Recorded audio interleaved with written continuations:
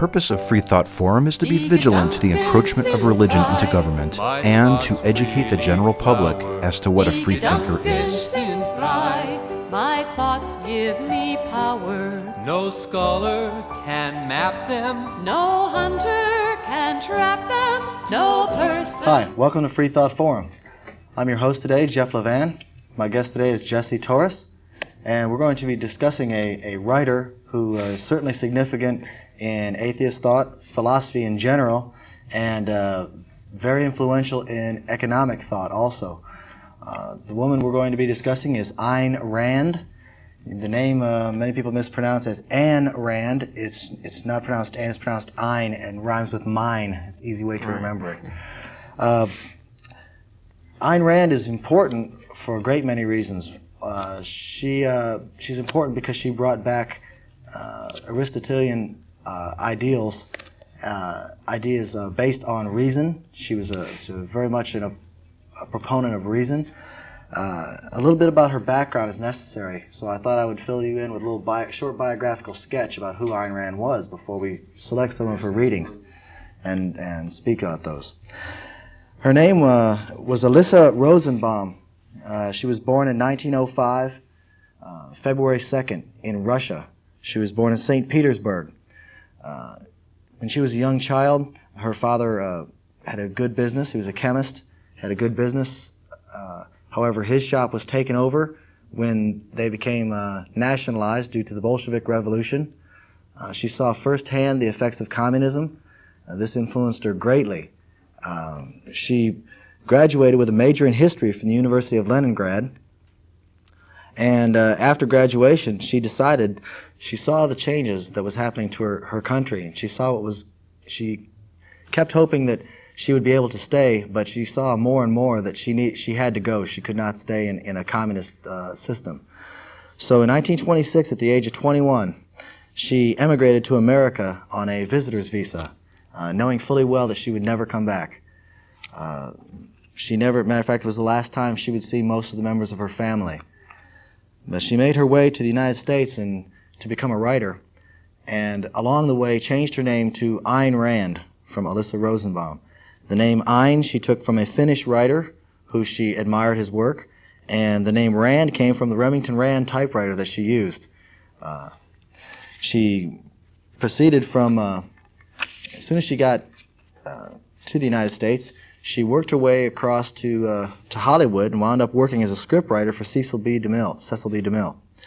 Interestingly enough, uh, her first uh, part in a picture, a bit part, uh, actually it was a walk-on, was in King of Kings, which was a interesting uh, thing. Her being an atheist, uh, to her first big chance, her first money-making opportunity to use her writing skills was in King of Kings. So. Um, from then on, she, she went on to her successes that we're going to discuss about the books that she wrote. But the, the influence of that eyewitness, eyewitnessing the Russian Revolution and the bloodshed firsthand was to stick with her forever. I wanted to uh, read just briefly a selection. Uh, this is out of Barbara Branden's book, The Passion of Ayn Rand. It's available at the San Antonio Public Library. I wanted to read a short uh, section where she describes some of those firsthand things that she saw. Uh, she says, On an afternoon that she remembered vividly all of her life, Alice stood in her father's chemist's shop, watching in bewilderment as Franz Rosenbaum gathered together the few personal possessions he kept in the shop and hurried to hide them in the apartment. As he was returning, armed soldiers burst into the shop and stamped a red seal on the door. The shop was nationalized in the name of the people. Anna Rosenbaum rushed Alice back to the apartment, but not before she had seen the look on her father's face. I felt the way he looked. His look was one of helpless, murderous frustration and indignation.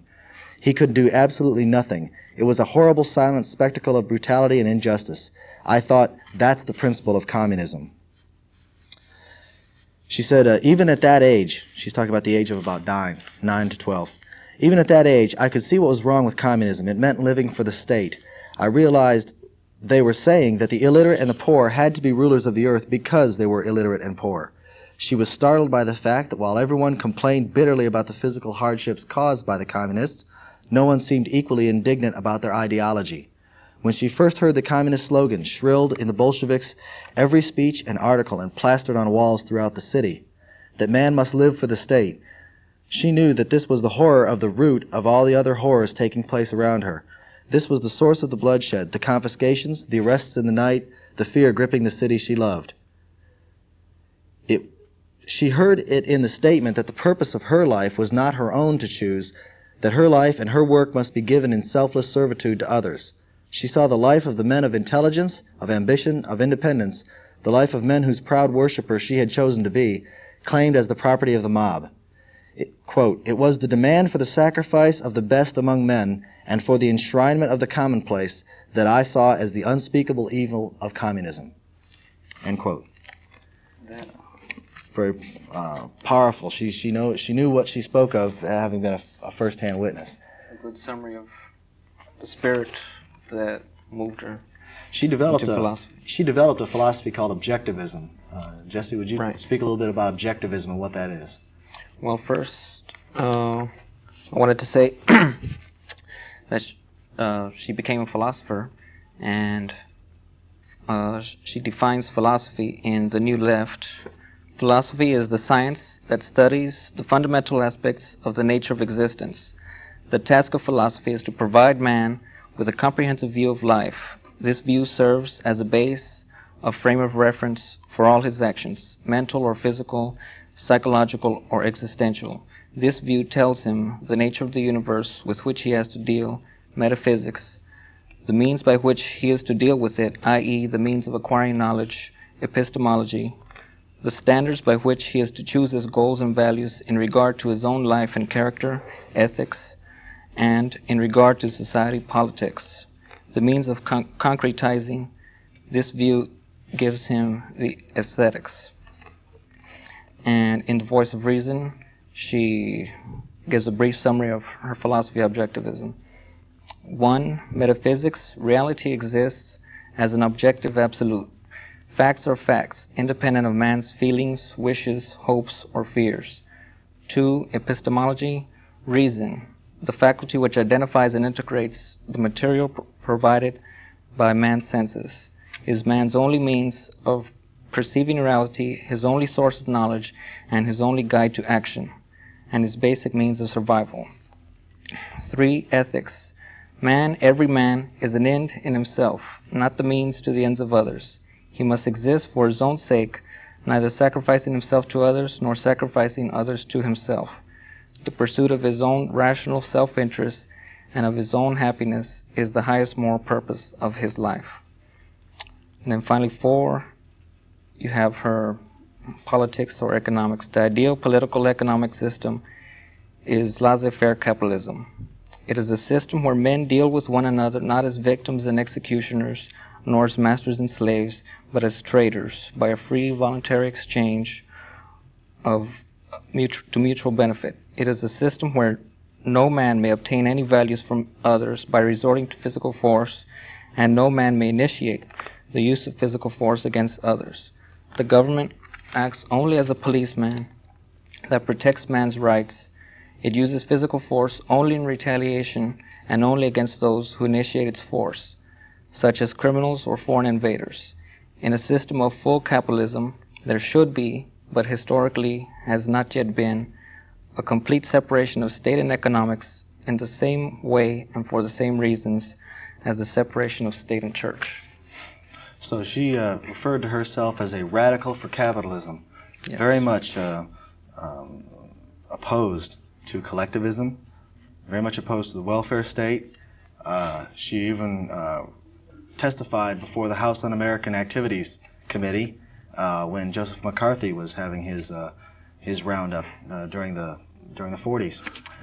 Uh, the one thing that strikes me about Ayn Rand and all of her works is she before she got into explicitly explaining her philosophy she wrote several novels in which the protagonist the hero is the people who as she said not real people who exist but heroes as she would like them to be people she would like them to be she gave these people these qualities uh, they're almost like greek mythology in a way uh, the, the, the, the strength and the integrity of, of her characters and equally the sliminess of those who are opposed.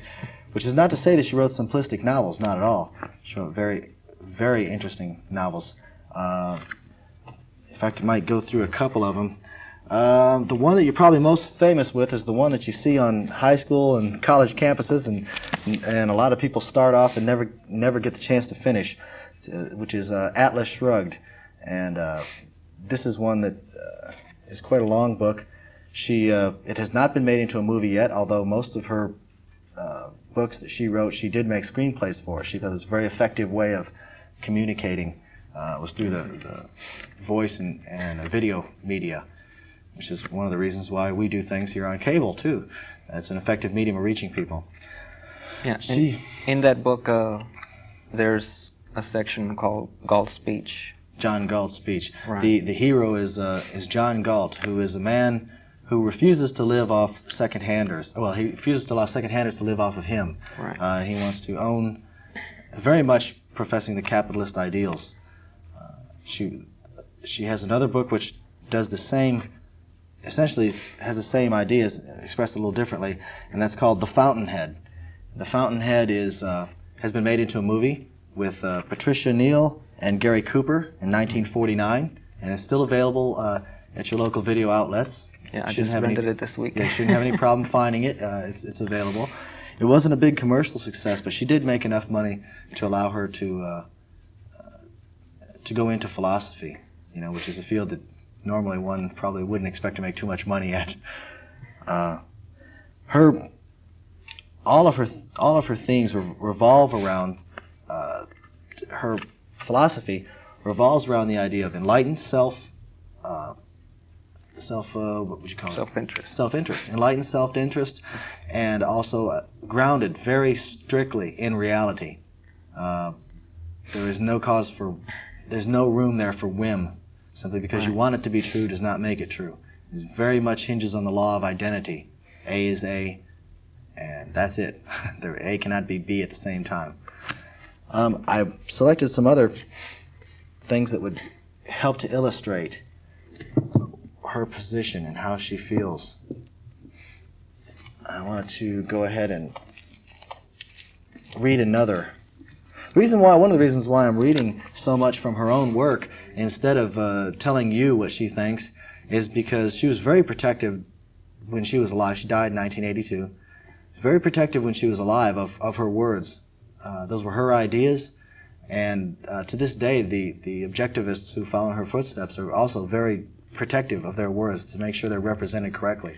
So I, I prefer, and Jesse and I, I think, chose the right way to uh, go ahead and let the words speak for themselves. And hopefully, if you're interested, you'll look up some of these books and um, and get a better idea of where she was going to. One of the things which concerns me and how I got involved with interest, interested in Ayn Rand is the fact that she's an atheist like myself. Although the diff the I wouldn't say a difference between me and her, but a difference between many of the atheists, not myself. I'm coming more and more to understand that Ayn Rand's point of view uh, rings a chord with me. But there are a lot of people out there who assume that all secular humanists, atheists, you'll hear this kind of bashing, that these people are out for one world government, they're out to promote communism and such. While there is that faction, there is that type of atheist, there's also um, the atheist, what you would call right wing, or the conservative, such as Ayn Rand. Um, in speaking of God and her atheism, her parents, this is from, by the way, this is from Who is Ayn Rand?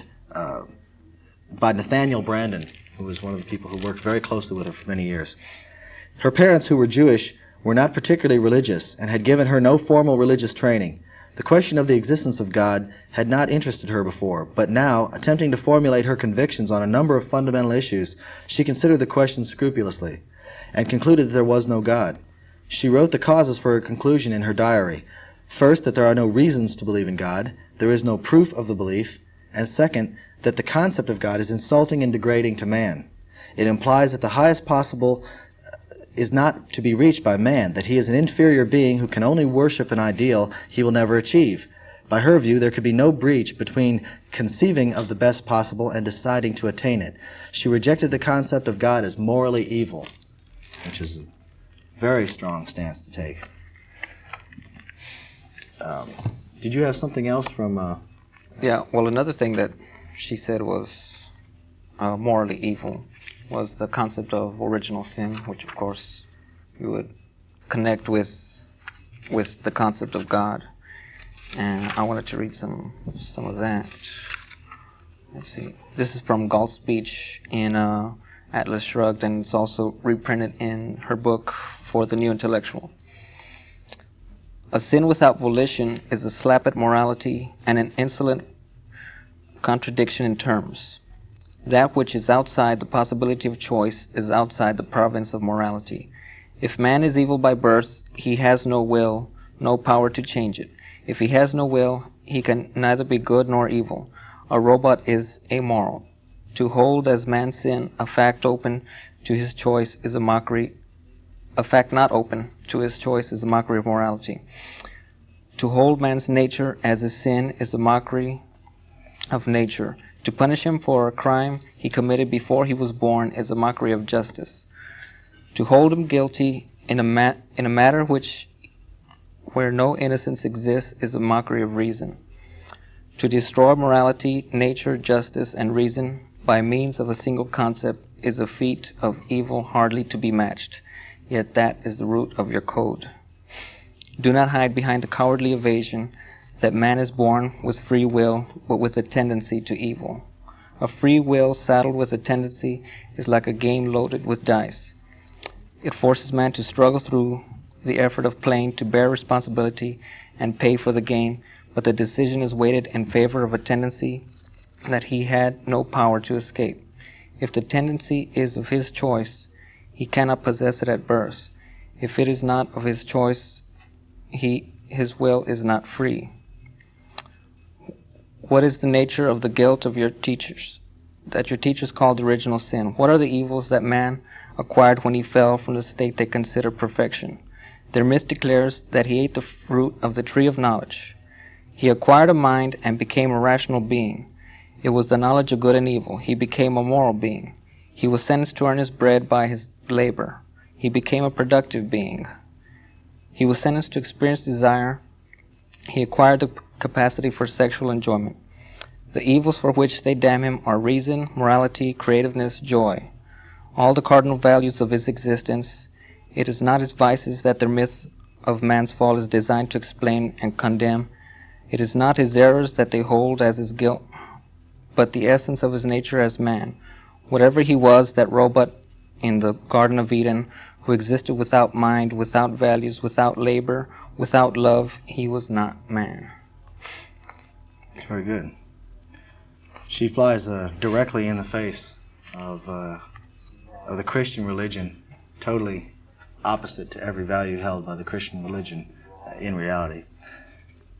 Um, when she talks about uh, such things as atheism, that it's important to remember that her whole philosophy is integrated. It all rests upon the other. If there's a reason for capitalism, there's also a reason for, for the atheism. It's not something that's decided just upon whim. It's built upon a long chain of, of reasoning uh, that is not easy to understand. It requires an effort, requires an intellectual effort, requires that a person be willing to, to invest the time to really find out what is real, what is, what is actuality, what is reality. Uh, I'm going to read a little something here where she talks about the battle between capitalism and socialism as the battle between good and evil. She says it, is a battle for those who know why it is necessary to be out, as far out of that stream as words will carry. She's talking about the stream of socialism. Why, when moral issues are at stake, one must begin by blasting the enemy's base and cutting off any link to it, any bridge, any toehold, and if one is to be understood, misunderstood, let it be on the side of intransi- intransience, not on the side of any resemblance to any part of so monstrous, monstrous and evil. It is a battle only for those who, paraphrasing a character in Atlas Shrugged, are prepared to say, Capitalism was the only system in history where wealth was not acquired by looting, but by production, not by force, but by trade. The only system that stood for man's right to his own mind, to his work, to his life, to his happiness, to himself. If this is evil by the present standards of the world, if this is the reason for damning us, then we, we the champions of man, accept it and choose to be damned by the world. We choose to wear the name capitalism printed on our foreheads proudly as our badge of nobility. This is what the battle demands. Nothing less will do.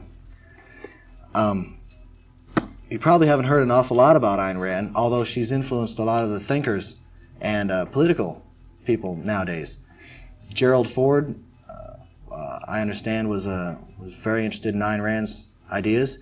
Margaret Thatcher, I understand, is is very uh, very supportive of, of Ayn Rand as she is of capitalism.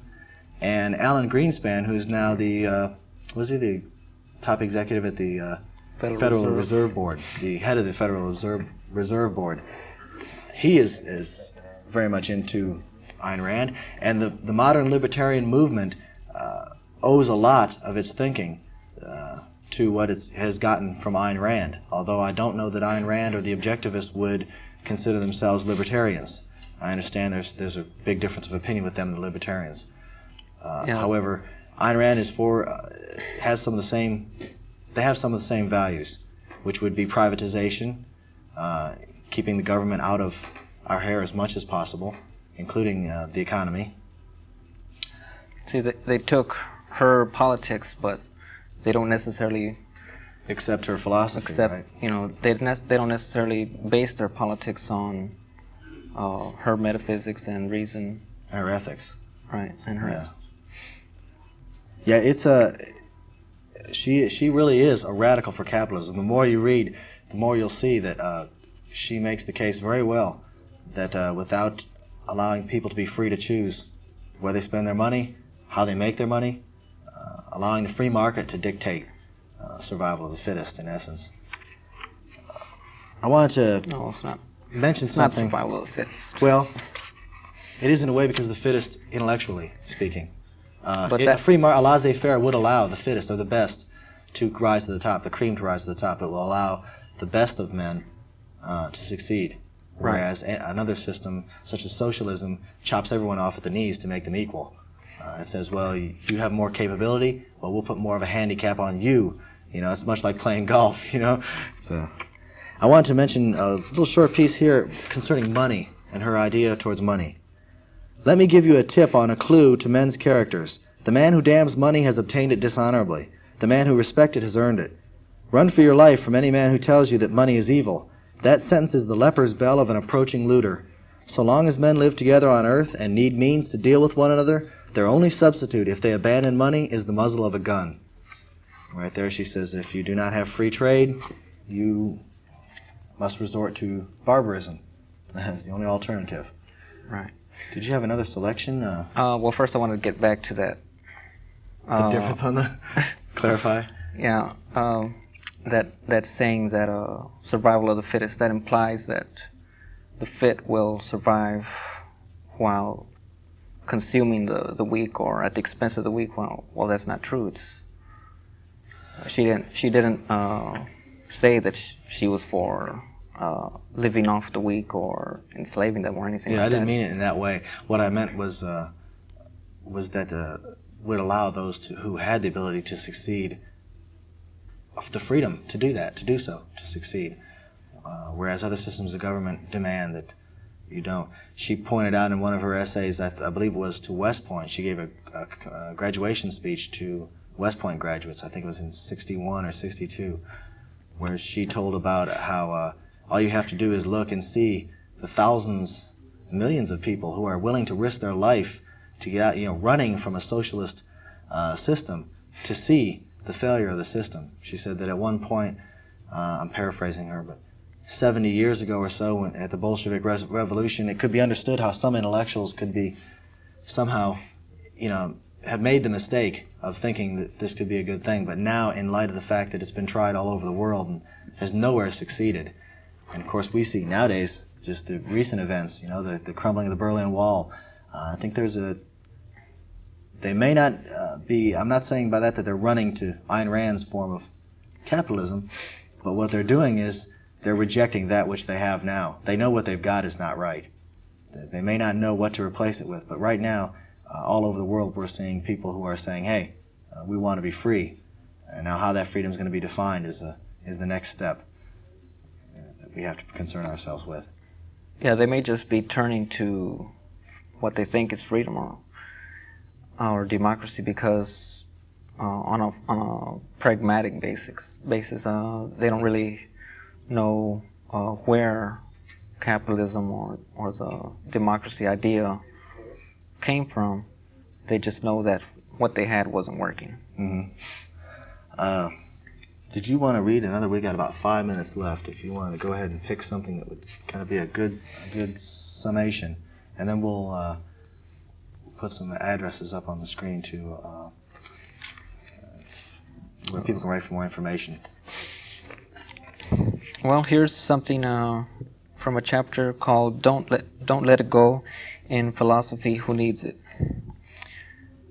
Can this country achieve a peaceful rebirth in the foreseeable future? By all presidents, it is not likely. But America is an unprecedented phenomenon. In the past, American perseverance became, on occasion, too long bearing of patience.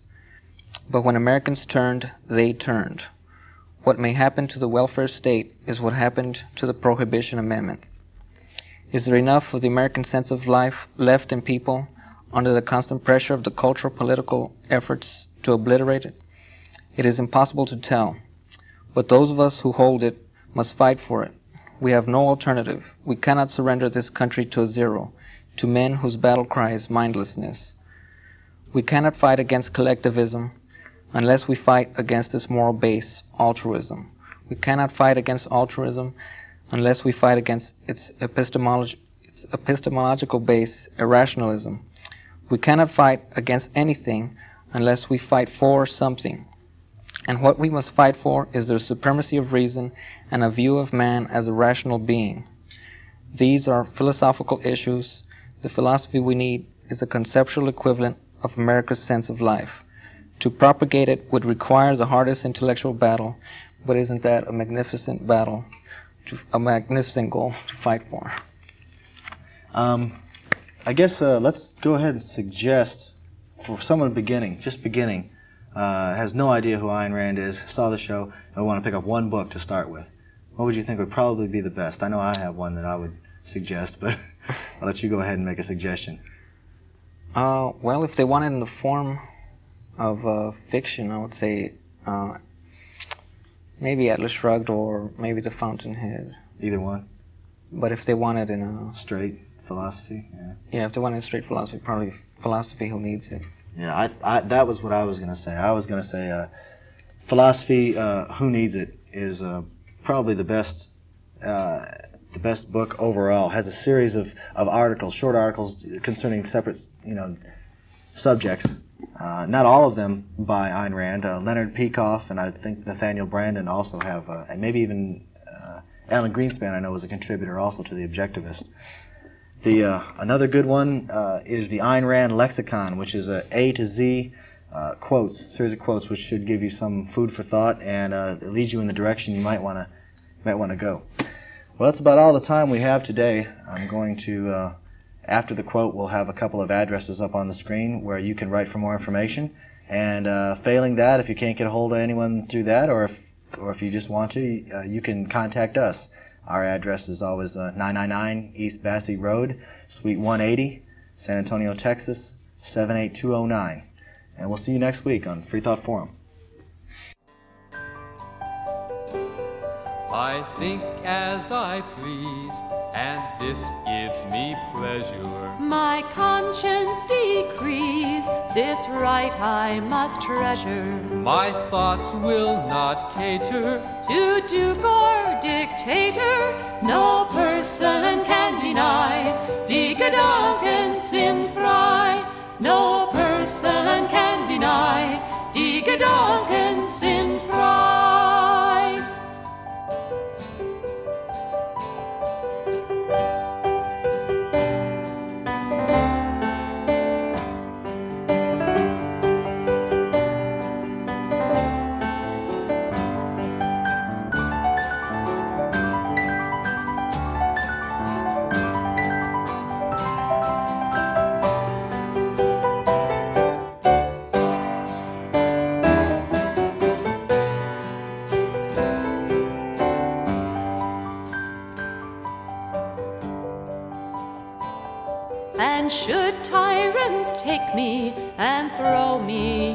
prison, my thoughts will burst free like.